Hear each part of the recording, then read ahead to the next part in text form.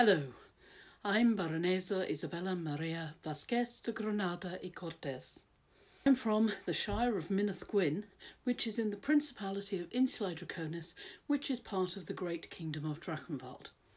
Today I'm going to show you how to make a Tudor wrapped button. These are the materials you're going to need in order to make a Tudor wrapped button. As you can see, there are not too many things. This is the button that we're going to make.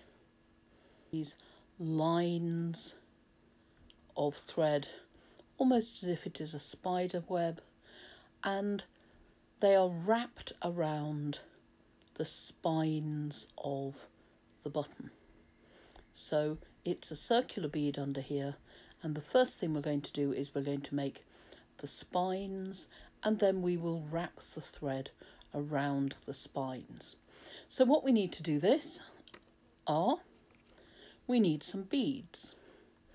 Now these are 1.2 centimetre beads, so 12 millimetre beads with a 2 millimetre hole through the centre.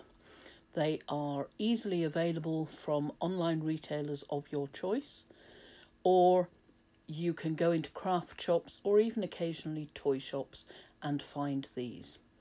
I'd recommend having a relatively small hole like this because although it makes it a little bit more difficult to get the thread through on the needle at times, it means that you end up with a far more closed button in the end. The other thing you're going to need will be thread. This is straightforward thick crochet thread. It's the thicker pearl perlé, however you wish to pronounce it, um, crochet cotton or perlé embroidery thread. And this comes in lots of different colours and you're going to need about a metre and a half of this. You will need scissors for cutting the thread. You will need a pair of pliers.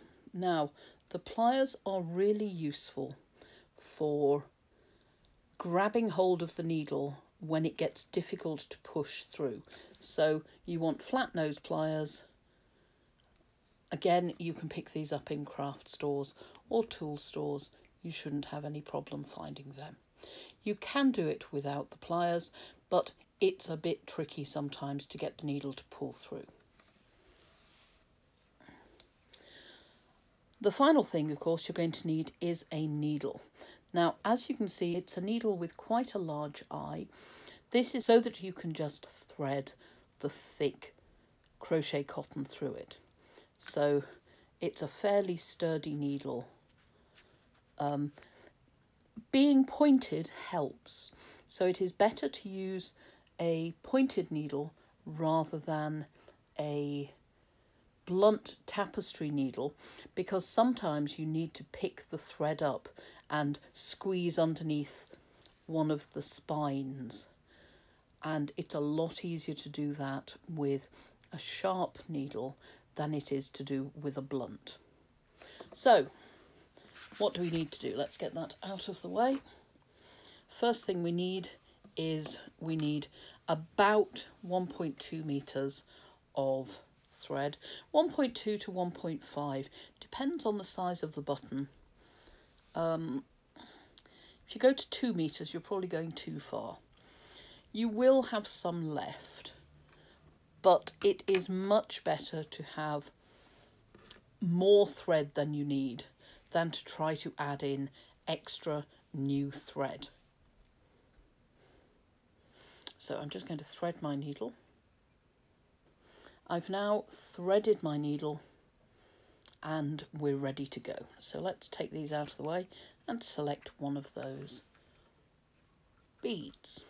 So first thing we need to do is we need to put the needle through the hole and pull in the thread. Okay, you don't want to pull it all the way. I would leave about uh, five, five to eight centimetres, so two inches or so of tail that you can hang on to. It really does, it really does help to hang on to this thing. I'm now going to thread it into through the hole again. And what I'm going to do now is this is giving me the first of my spines. I'm going to make eight spines and the reason for it being eight is that that means it's relatively easy to create the button, to do the thread wrapping, but it gives us a good coverage. In period portraits, in Tudor portraits, we see buttons that have anything from 6 to about 12 spines. The number of spines is quite important because the further apart the spines are, the more difficult it is to get coverage of the button with the wrapping thread. So it helps to be able to have quite a few of them to start with. If you're working with a thin thread, I'd recommend you have more spines. So there are shorter areas to cover between the spines. But I have found that with this particular weight of thread, eight spokes works perfectly well. Now you'll notice I'm not making these spokes by starting here and then doing the next and the next and the next and the next. What I'm doing is I am doing opposite spokes. This just makes it a little bit easier to make sure that they are even because when you start actually stitching the wrapping thread in, they will become a little bit uneven. So if that happens, don't worry about it. It is perfectly normal. So I've now got the first four spines in. You can see the spines there. And I can now start putting the, the spines in between to get the other four spines. Now at this point we have put quite a lot of thread through the centre of our button. So you may find that this is when you start using your pliers. So you, I can still get that one through, that's fine. Now I've got six of those. I'll just put my final two in. And at this point it's becoming a little bit difficult to push it through. So this is where I'm going to get my pliers and I'm going to hold the needle with the pliers and pull that through. And that makes it a lot easier to work with. Now you'll have to use your thumbnail. I, I tend to use my thumbnail to even these up. And then I've just got the, the final eighth one to put in and that will definitely need the pliers. So you can use the pliers to push just as much as you can use the pliers to pull. And there we go. That's pliers. So I've now got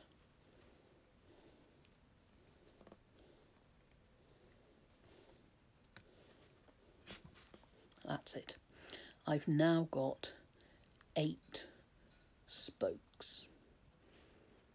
You can see it's nice and clear. We've got eight spokes all the way around. And you notice that I have pushed the spokes apart so that they are nice and evenly dispersed.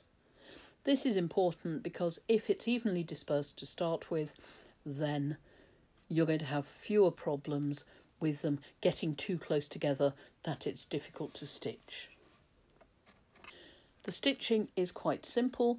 What you are doing is you're taking the needle and you are going underneath one of the spokes and then passing it through.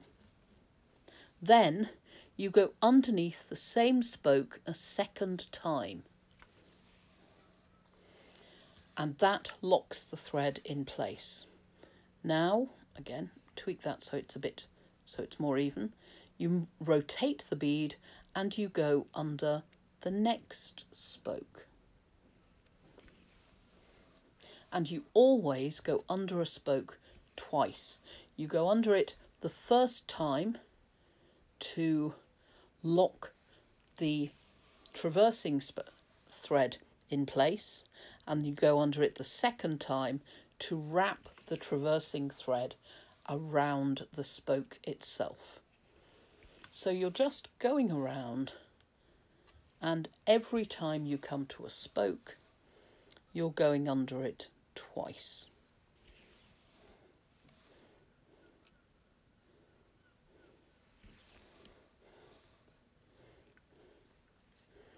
This is really simple, so it is not a difficult button to make. Now these appear quite a lot in Tudor portraiture. They are most often worked in silk, but if you're working with silk, as I said, you want to look at having rather more spokes. The nice thing with this button, if you do it with this heavy crochet thread is that it will work up in about 30 to 40 minutes.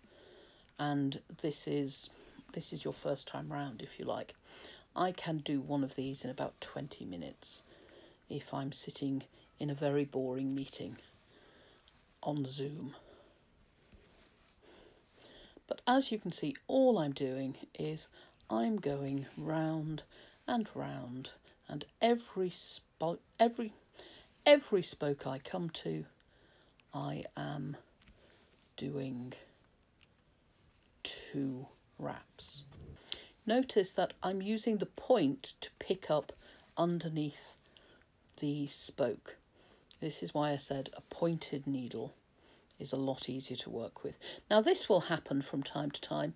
You'll develop a knot in your thread, but it's okay because you can generally pull those out, particularly when you're working with a heavier thread like this.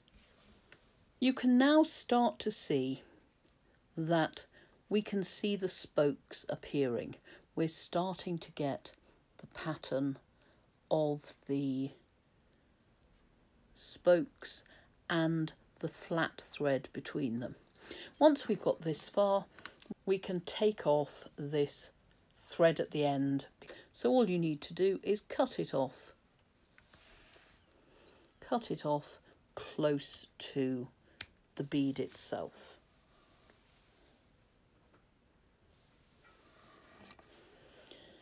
And then once you've done that, you're just going to keep on going, keep on wrapping. Now, what I'm noticing here is things are getting a little bit uneven.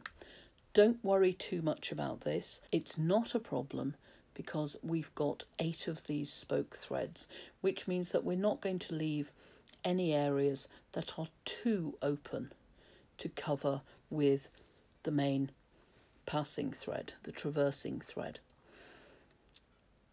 If it does get a little bit uneven, try to vary the tension a bit so that you can pull pull spokes a little bit closer together or you can relax them a little.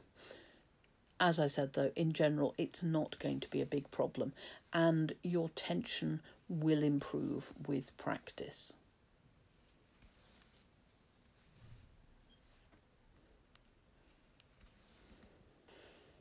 One of the nice things about this thread is that it covers the bead quickly and evenly.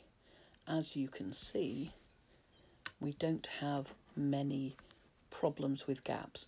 You do get problems occasionally with it knotting up like this, but if you can just undo it, it's fine. So we've now reached the middle of the bead and at this point the length of the traversing bits here are going to get a bit shorter each time. Until now, they've been getting a little bit longer each time. Whoops. When this happens, we have to be a little bit careful because if you can see this little gap here,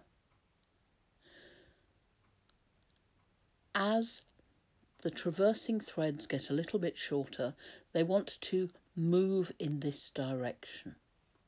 So you have to start pushing them down a little bit when you put in your traversing thread.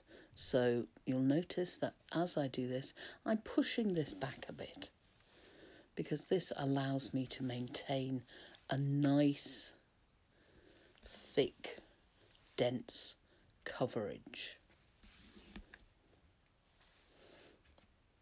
And of course, occasionally this will tense up. And that's just because of the way the thread is twisted in the first place. One of the things you can do if you feel your thread is getting too twisted is just hold the whole thing up via the needle and then let the whole thing untwist. And that will take some of the extra twist out of your needle. Again, now we're just going round and round and it's going to get narrower and narrower as we get closer to the other end of the bead.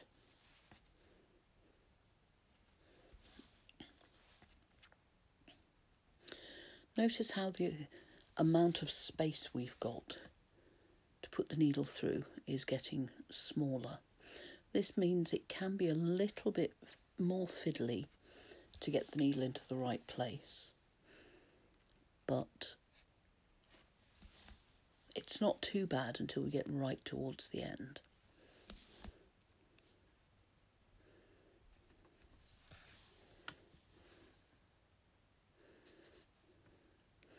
And now we can see there's really not very much space for the thread to go around. So it is becoming a lot trickier to pick up the right thread.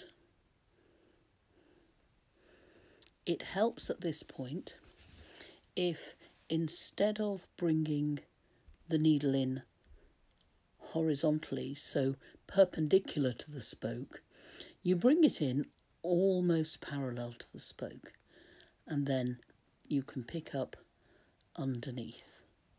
There we go.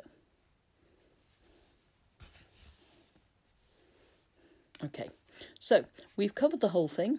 We've got a nice button. The final thing we need to do is finish off the thread. So we're just going to push it back through here and this is another point at which we're going to need the pliers. So use the pliers to push and then use the pliers again to pull. And at this point, you may have to pull quite hard because there is a lot of thread going through that central. When you, when you put your final stitch to hold it, make sure you come over another thread. So you're not going to go down into the same hole that the thread has made. And this final one is being really quite hard to do.